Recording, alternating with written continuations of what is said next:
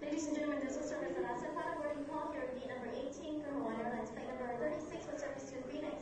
All ticketed and confirmed passengers, please make your way immediately to be number 18 for boarding. We are closing the boarding doors in two minutes.